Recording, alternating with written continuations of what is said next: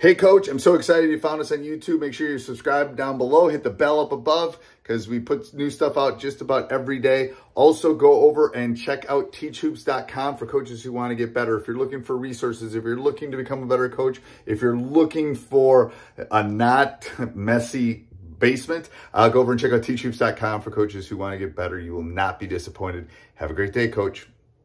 Another one of our favorite things to do at practice is work on drills where we have no dribble. So, uh, or especially early in the season, uh, over dribbling, huge issue. Every team, every level. Uh, how are, how do we work on that? You know, we every guy that's came in playing in the summer, playing AAU, whatever it is, they're dribbling the catch every single time. We don't want to have a 10 or 15 minute segment on it, but when we're doing our small sided game stuff, this can be a constraint that we put in uh, it's not something we're going to spend 10 or 15 minutes on usually, but working on footwork here, stressing passing, duality of a drill. We switch a lot of screens, so we can also work on our switching here. I can say, hey, this offense is working on this, defense this. Um, we can do this three on three, four on four, five on five. Plus, we could do it in a lot of the advantage disadvantage drills we do. Even if we were going five on three, we could say we're playing with no dribble here. And then we're talking to guys or afterwards, like, hey, what did you see? What was hard? What was easy? How did you have to pivot? How did you have to do certain skills that we are bringing into a game instead of doing it into on on air? We've got a drill here that we're doing it in. Um, defense usually starting with the ball we can go for any position. You can see we're working on a switch there at the same time. Not great ball movement here but it's early in the season. We're learning like a lot of these drills that i've shared.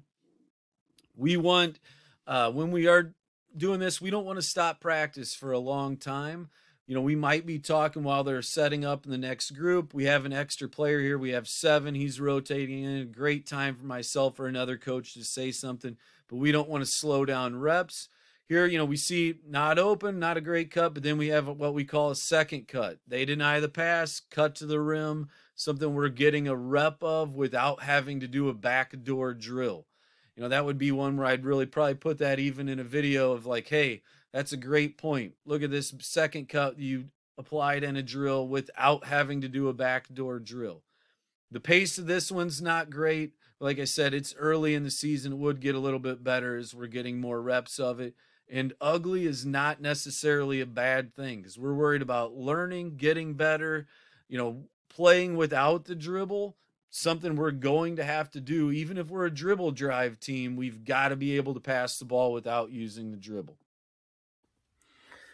Hey, coach, so glad you enjoyed the video. Make sure you subscribe and like. Second all, go check teachhoops.com for coaches who want to get better. Let me help you put banners and stuff in your gym and become a nationally ranked coach, win more games in less time. Teachhoops.com is a community that will allow you to do that. Go over and check it out and go check the next video out. Bye.